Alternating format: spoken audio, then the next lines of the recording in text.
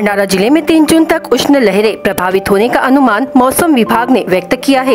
इसी बीच, कुछ स्थानों पर हल्के बादल छाए रह सकते हैं। एक सप्ताह से जारी गर्मी के कहर से अभी राहत मिलने के आसार नज़र नहीं आ रहे हैं। इससे जनजीवन बुरी तरह से प्रभावित हो गया है। स्वास्थ्य विभाग भी बार बार नागरिकों से सावधानी बरतने का आह्वान कर रहा है। शुक्रवार 31 मई को ज़िले का अधिकतम तापमान 44 डिग्री सेल्सियस दर्ज किया गया, जबकि न्यूनतम तापमान उनतीस डिग्री सेल्सियस दर्ज किया गया। आने वाले तीन दिन आसमान में बादल छाए रहने तथा उष्ण लहरें प्रभावित होने का अनुमान मौसम विभाग ने व्यक्त किया है। इसे लेकर येलो अलर्ट जारी करते हुए नागरिकों से गर्मी से बचने का आह्वान किया है। वर्तमान में सुबह से ही सूरज आग उगल रहा। है पंखे, कूलर एसी गर्मी के सामने विफल साबित हो रहे हैं। दोपहर 12 बजे से शाम 4 बजे तक बेवजह घर से बाहर निकलने से बचने का आह्वान जिला आपदा प्रबंधक विभाग ने किया है। भंडारा गोंदिया जिला वासियों के लिए खुश खबर है।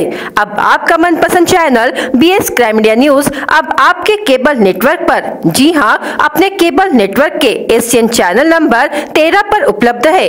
B S crime India news पर खेल, राजनीति क्राइम साहित्य व अन्य खबरें प्रकाशित की जाती है। हमारे साथ जुड़ने के लिए तथा हमारे चैनल में खबरें, विज्ञापन आदि के लिए संपर्क करें, eight six six nine one five one seven five seven पर।